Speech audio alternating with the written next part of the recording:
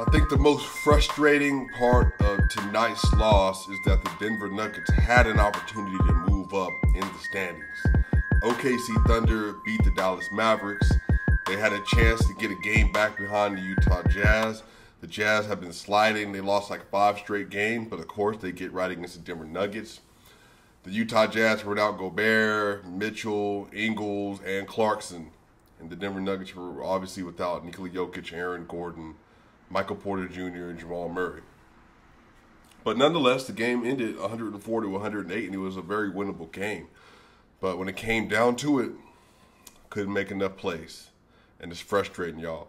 What's going on, y'all? I'm SwipaCam. Welcome back to the channel, man. I hope y'all had a great day today. Hope you enjoy watching the game. I know that the MVP did not play tonight, but you got some solid performances tonight. Uh, really, Bryn Forbes you know, we've been talking about him for a while now, y'all. You know, we said it before he even got traded to the team that there's something they're missing. You're missing one of those kind of heater scores off the bench, and Bryn Forbes, he fits that to a T. Bryn Forbes tonight had 26 points, one rebound, and two assists on 10 of 13 shooting, four or five from three. He was a plus two.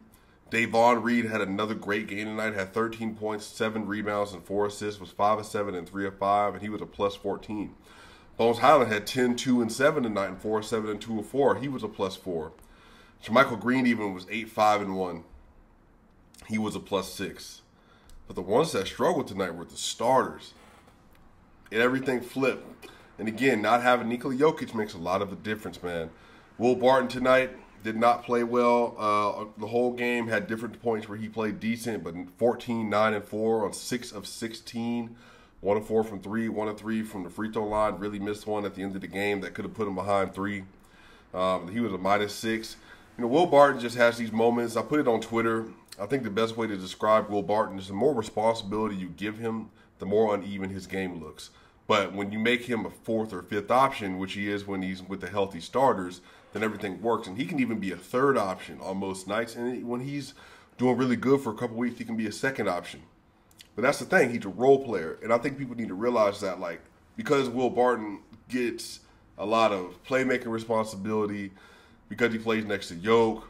You know, people have this expectation that he's supposed to be able to do certain things sometime. And again, it's just he's gonna be wild will sometimes. He's gonna take these shots. He's gonna miss these shots. He's gonna, but he doesn't have like a crazy like shooting volume, you know. And and he's not gonna do everything you would like a playmaking point guard to do. That's not what he does but he offers a lot to the team. But tonight, he missed a lot of big shots, and especially missed some stuff at the end of the game. Uh, I mean, the Nuggets were tied like two, four minutes left or something like that. But then they let go of the rope, and they were down seven all of a sudden on a nine-two run from Utah. And it was just one of those things, man, where they played hard, they kept it tight the whole game. They even went to the half up one, uh, but then they just weren't able to close it out. So that was a little frustrating to watch. But Will Barton and I struggled. Monte Morris had 15 3 and 3 on 7 to 13, 1 to 3 from 3. He was a minus 8. Austin Rivers 2 3 and 1, 1 to 5. He was a minus 6. And Zeke Nnaji, Zeke Nnaji had a good game. He was 8 and 8 and 1. He had 8 points and 8 rebounds, was 3 of 7 from the field. And he was 0 of 3 from 3. Uh, one of them he made, he had his foot on the line. He was 2 of 2 from the free throw line. Uh, he was a minus nine, but I honestly thought he really gets really important stints. And he was playing great defense, man. Like, whenever Utah would come out and they would try to switch on to him on the pick and roll, I mean, he blocked Mike Conley at one point in time. I mean, he was playing really well against Forrest or whoever else was on him. Uh, he did well. Jeff Green did not have a good game tonight, 8 and 1 and 1 on 3 of 5. And he was a minus 17. It was just one of them nights, man. Like, they didn't have anybody, but again, it was close enough at the end. You thought they could pull it out. And again, I think for the sake of the standings, it would have helped for them to get this win. But they didn't. It is what it is. They shot 53% from the field and 39% from three, and they still lost. Uh, that's because they shot 20, 12 free throws, and Utah shot 22 free throws. That was another story of the game. Their turnovers, Nuggets had 14 turnovers, Utah had seven. Uh, but really, also, the, man, like the refereeing was terrible. Like the last end of that fourth quarter down the stretch, man, they just really, really, really struggled, man. Like really, really struggled trying to get to the basket and get foul calls. They were, were getting crazy foul calls on them on the other side of the ball. Zeke got flung to the ground, didn't get a call. I mean, overall, the numbers say they played well, and honestly, they should have won the game. It's just the free throw difference and the turnover difference. And again, man, if you don't if you don't do those things and have twice as many turnovers, and I think they had maybe 10 of them, 10 of those turnovers, 11 of those turnovers in the second half. You don't do that, you win the game. So you wish you would have had better guard play, especially with all the guards they played tonight. They only played, you know, three bigs, Zeke, Jeff, and, you know, J Mike, you know, 6'11, 6'8, and 6'8. They're not like bigs like that. You know, DeMarcus Cousins was out tonight as well. That would have helped, especially in the in the first half. So it is what it is, man. Um, getting disappointed. I wish they would have been in a better opportunity to, to move up the standings. And uh, but like I said, this is what happens. You don't have your MVP in the game, man. You can't close out games, and it really shows the gargantuan task and responsibility Yoke has. The fact of the matter is that Jamal Murray hasn't been there to be that second man to help with the late game situation, help with the clutch situation.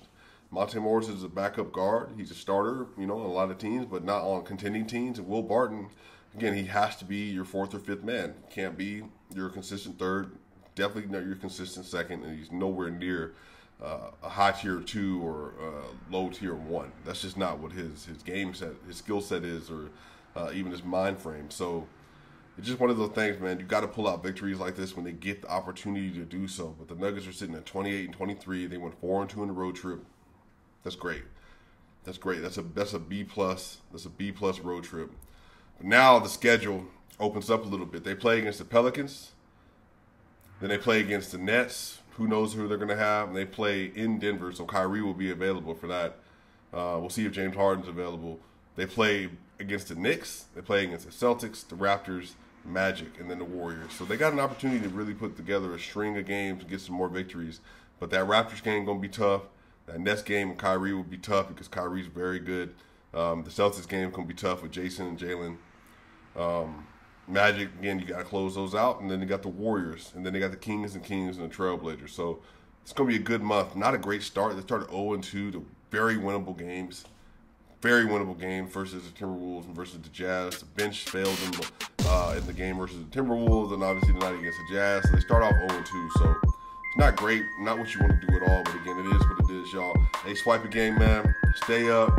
Follow me on Twitter at SwipaCam, man. We continue to do it. Blow it up, blow it up. Hit that subscribe button, and we gonna be back against the New Orleans Pelicans coming up here soon, y'all. I'm gonna see y'all.